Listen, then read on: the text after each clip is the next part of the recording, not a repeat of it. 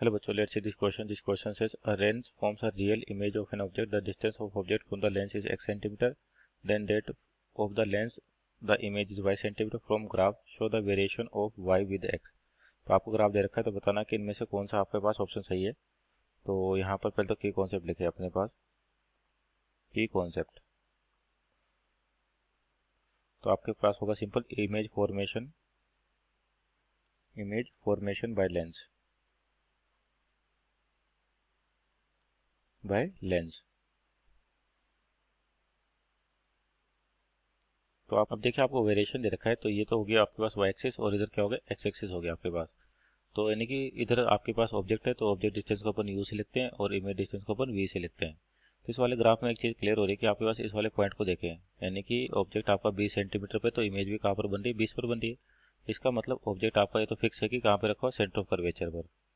Centre of curvature क्योंकि अगर object आपका सेंटर ऑफ़ कर्वेचर पे तो इमेज भी कहाँ बनती है? सेंटर ऑफ़ कर्वेचर पे बनती है।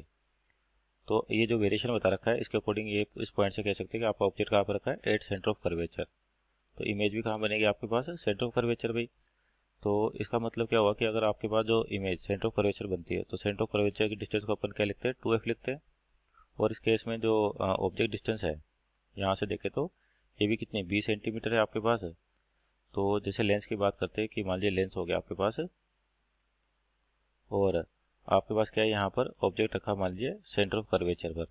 तो सेंटर ऑफ़ कर्वेचर कितना था टू एफ़ होता है। और ऑब्जेक्ट डिस्टेंस को अपन किसे लिखते हैं? यू से लिखते हैं। तो यहाँ पर देखिए इन दोनों को कंपेयर करें तो यानी कि टू एफ़ की वैल्यू किसके बराबर होगी? यू के बराबर, इसका मतलब बीस सेंटीमीटर तो एफ़ कितना हो जाएगा आपका? दस सेंटीमीटर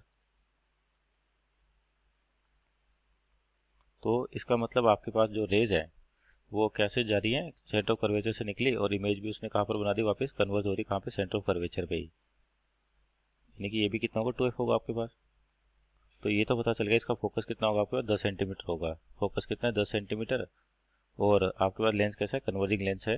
तो यहाँ पे पहले ऑप्शन देख लेते हैं। आपके पास फोकल लेंथ देखिए, एक में दस सेंटीमीटर दे रखी है। तो यानी कि आपके पास आंसर देखा जाए तो option number a that is converging and focal length कितना होगा? दस सेंटीमीटर होगा इसका।